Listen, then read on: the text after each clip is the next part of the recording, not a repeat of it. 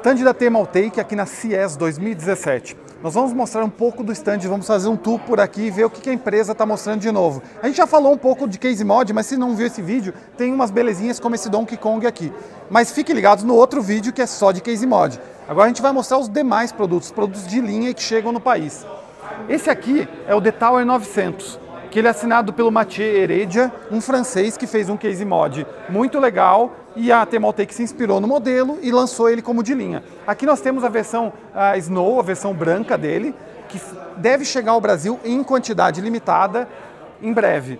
Por que limitada? Porque é um produto para poucas pessoas que vão fazer um case mod é, diferente, então não é um produto que é, vai ter uma larga escala de venda.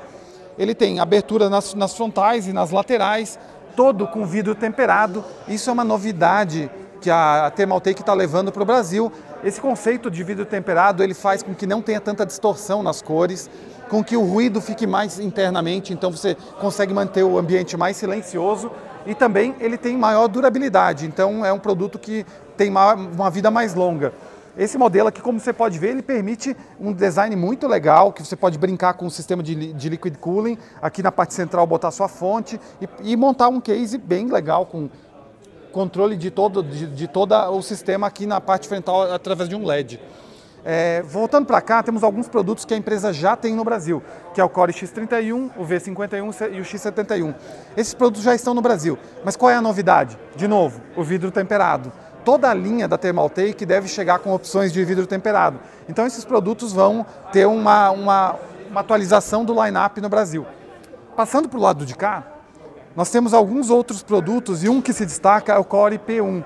A gente já falou muito no Adrenaline sobre Core P3, Core P5, inclusive no, no PC dos sonhos do Adrenaline.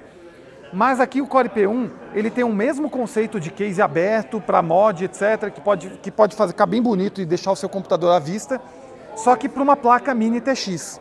Então aqui a gente consegue trazer o conceito de placa mini TX, é, um mod mais com um, computador mais compacto, também com vidro temperado e que como é aberto ele não tem tanto problema de refrigeração, porque afinal a ventilação está tá rodando. A linha de fontes da, da Thermaltake é full modular, com componentes japoneses, você pode ver todo aqui o, o LED de, analógico que você troca de cores, a ventoinha que joga para cima o ar em vez de para baixo, enfim, é uma, uma fonte bem diferente que eles estão trazendo e que é bacana porque vai chegar no mercado brasileiro em breve. Pensando em ostentação extrema e personalização, e se você quer ter aquele computador que vai impressionar todo mundo, a Thermaltake também tem o Core P7, que é o, a, o topo da linha P. Esse é, um, é, um, é uma máquina extremamente aberta que você vê aqui, ó. Eles têm um só aqui no evento, ele é um, um, uma máquina, que, um case que não deve ir para o Brasil, porque realmente é um produto mais caro, é um produto mais sob medida. Claro que se tiver demanda e alguém quiser, eles podem importar, mas a princípio não deve chegar no Brasil. Obrigatoriamente aqui você tem que ter dois radiadores, um em cada lado, e o RGB você pode ver, ele é, ele é todo RGB, até aqui no, no sistema de liquid cooling tem iluminação interna na, nas pontas. O bloco que cobre o processador também é RGB. De novo, um, uma parte de vidro temperado na, na, parte frontal, tampando. É um sistema extremamente aberto e ele é feito com o próprio sistema de liquid cooling, já desenvolvido pensando no sistema de liquid cooling do, da, da Thermaltake, que é aquele que a gente usa no PC dos sonhos, que é todo moldável. A gente já fez vídeo mostrando sobre isso. Então você pode pensar nas curvas e trabalhar elas da forma que você quiser.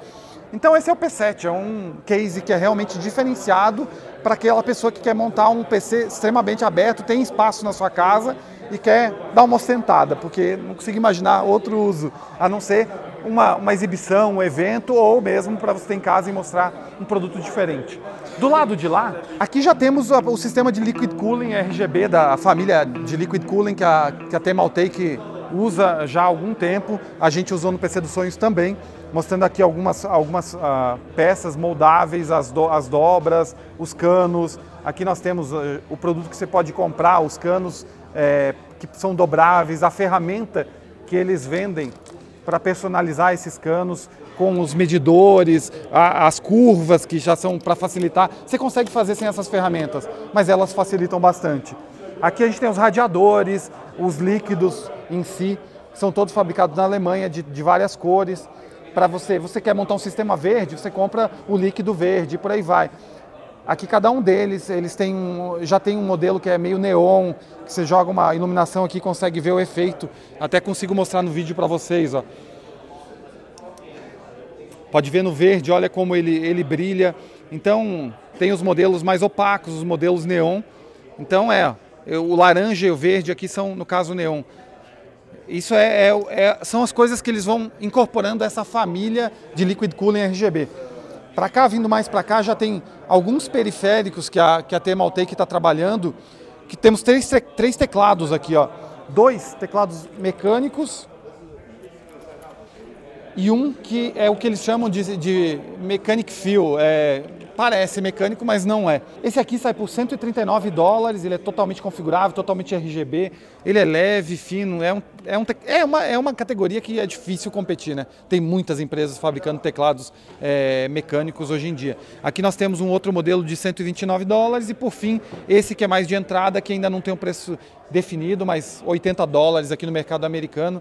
Alguns desses modelos devem chegar no Brasil em breve. Temos também a linha de, de outros acessórios, todos RGB. Aqui nós temos o fone RGB, mouse, o próprio teclado, o próprio mousepad, como vocês podem ver, com todo o entorno é, também RGB. Você tem um botão aqui que liga e desliga, que troca a cor, a forma como ele exibe a cor. São produtos que a, que a Thermaltake está trazendo para completar a linha. Então hoje eles têm os periféricos, têm os cases, têm o, as fontes e tem, enfim, toda uma, uma gama de produtos que é para você poder montar, se você for fã da marca, montar sua, sua máquina inteira de Thermaltake. Esse é um pouco do, do, da suíte da Thermaltake aqui na CES 2017. Espero que vocês tenham curtido o vídeo. Fiquem ligados no Adrenaline para mais novidades do Adrenaline on the Road e também da CES 2017. Um abraço.